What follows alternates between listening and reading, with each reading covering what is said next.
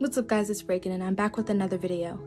And this morning my church didn't actually live stream, so my family and I joined Bishop T.D. Jakes live stream, and it was called Strange Tears.